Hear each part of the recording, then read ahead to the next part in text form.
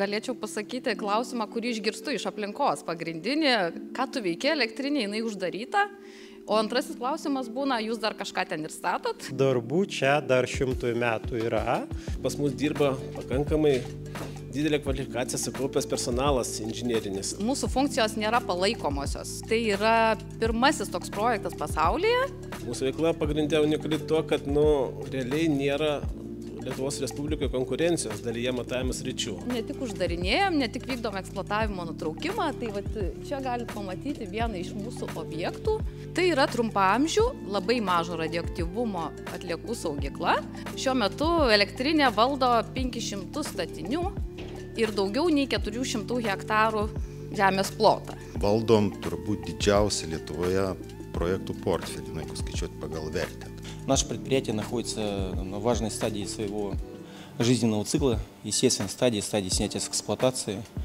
И это подразумевает очень много, ну, так называемые, да, вызовы. Нас ждет самая серьезная работа по демонтажу реакторного оборудования. Įmonė didelė, čia kaip didelis mechanizmas. Kiekvienas padalinys priklauso dar nuo grupės padalinių. Определенный опыт, конечно, в мире существует, но э, станции такого типа, реакторы такого типа еще э, с эксплуатации не снимались. Есть много того, чего мы делаем впервые, конечно, наше предприятие. Daug ne tik vietinio, bet ir tarptautinio bendradarbiavimo. Атомная станция, в принципе, является наиболее достойным э, местом и самым большим, собственно, работодателем э, в этой округе.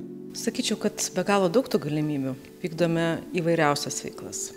Ir kasmet ieškome apie šimtą naujų darbuotojų iš įvairiausių sričių.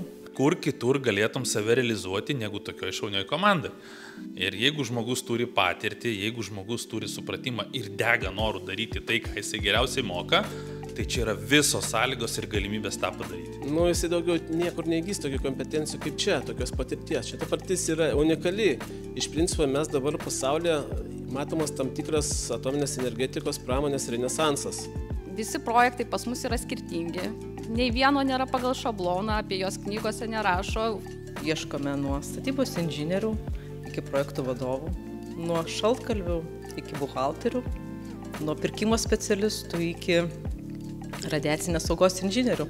Sutvarkyti radioaktyvesias atliekas ir nepalikti šitos naštos ateities kartoms. Tuomet, kai mes užbaigsime savo darbus, aikštelę bus galima naudoti kitoms veikloms. Tai yra be jokių apribojimų atsakomybė amžiams. Ta prasme, viską, ką mes darom, tas liks amžiams.